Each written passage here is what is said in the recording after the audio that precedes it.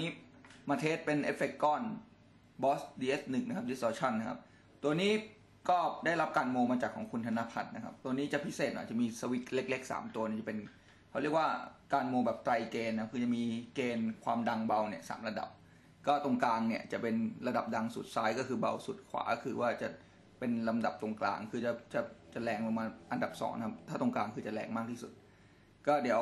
มาลองฟังซาวแบบว่าตรงกลางก่อนคือปกติจากตอนแรกกีตาร์เสียงคลีนใช้ฮัมบักกิ้งครับตัวนี้เหมือนเดิมคือแอมจะปรับแบบไม่ให้โดดเด่นอะไรมาให้มันกลางๆที่สุด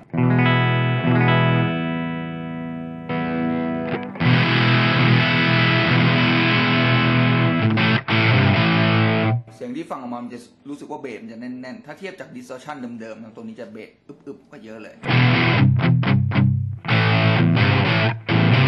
ออุดสายแล้วเนี่ยรู้สึกว่าลำโพงสะเทือนนี่คือเข้าท่าทีเดียว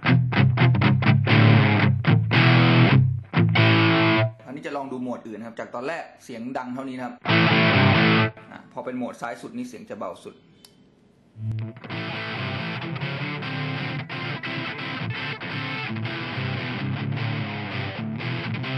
แล้วก็โหมดขวาสุดนะครับ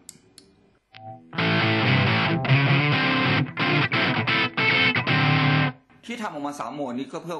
เพื่อคล้ายๆว่าทำให้กีตาร์มัน balance กันนะหมายถึงว่ากีตาร์บางตัวเนี่ย output เวลาเล่นเสียง clean จะค่อนข้างเยอะนะครับ ถ้าเกิดใช้เอฟเฟกต์ที่ไอตัว level มันน้อยเนี่ยเช่นผมสมมติปิกอัพเป็น humbucking แรงๆ แล้วผมไปใช้แก๊กซ้ายเนี่ยมันจะฟังดูไม่ balance ระหว่างเสียง clean มาเสียงแตกเสียง clean พอมาแตกมันจะเบา แล้วก็ต้องใช้ไอแก๊กกลางที่มันดังให้มันชดเชยความดัง มันก็จะ balance กันในทางกลับกันถ้าเกิดใช้ single coil นะครับที่เราไม่ค่อยแรง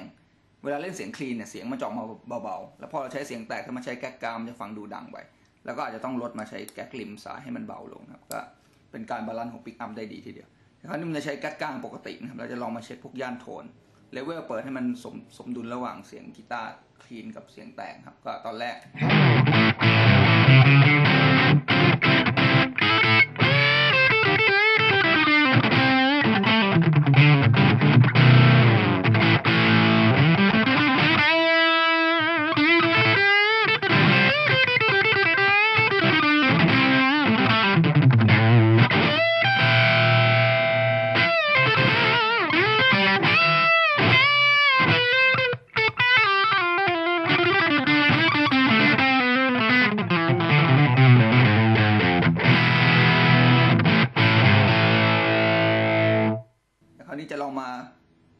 เช็คพวกย่านดิสบ้างครับจากตอนแรกเปิดน้อยที่สุด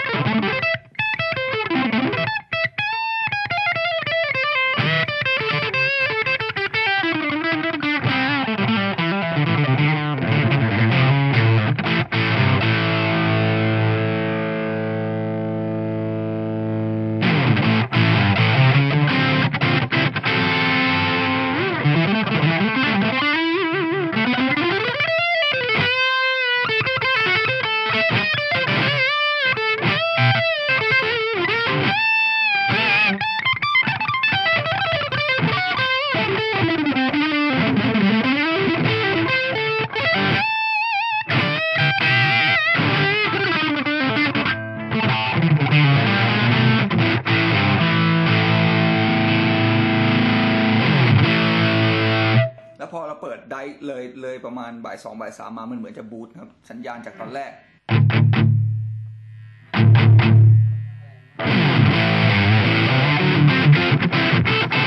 จากที่ลองเล่นรู้สึกมันจะแรงกว่า DS1 ปกติด้วยนะครับ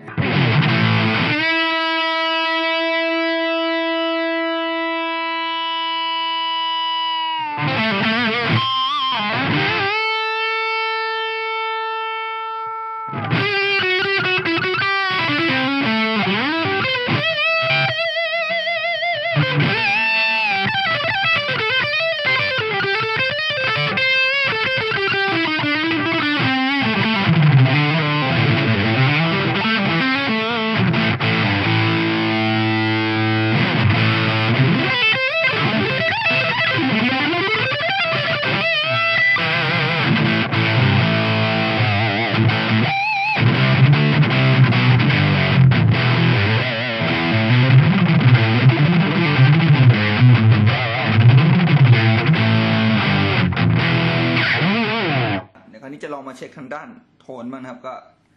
จะลองเปิด volume น้อยๆก่อนนะครับ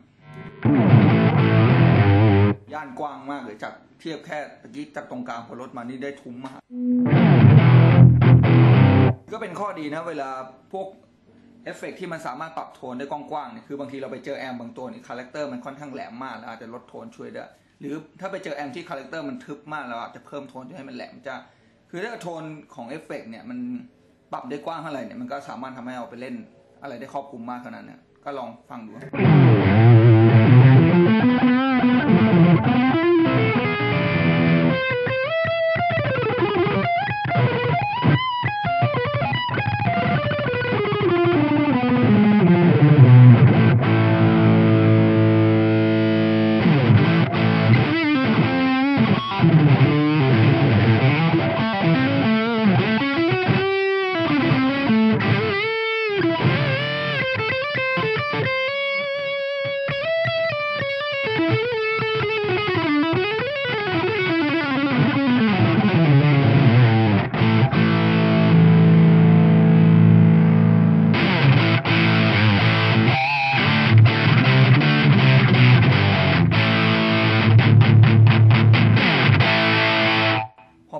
มากๆก็จะมีความแหลมและดังขึ้นก็ต้องลดเลเวลลงมาหน่อยนะ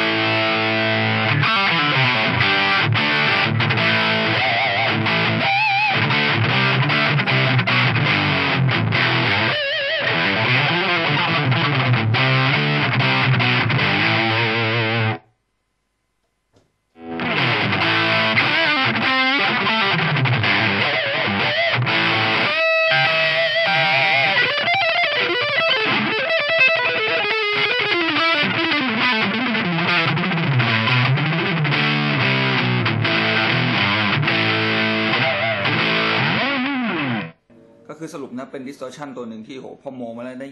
เนื้อเสียงย่าน low นี่เยอะมาก low end เยอะมากนะครับ แล้วก็เนื้อเนื้อเต็มเต็มๆมาเลยกลางก็กลางก็เพิ่มมาเหมือนกลางต่ำเพิ่มเข้ามา แล้วเอามาเล่นอะไรได้ครอบคลุมนะเพราะผมชอบไอ้ปุ่มโทนมากคือปรับ range ได้กว้างมากจากเสียงทึบมากจนถึงแหลมจ้าได้มากนะครับแล้วก็ความแรงสัญญาณก็เยอะพอควรและที่สำคัญก็คือมีปุ่มเล็กๆเนี่ยสามารถปรับให้มัน balance ระหว่างปิกอัพหรือลักษณะกีตาร์ output แต่ละตัวได้คือคือ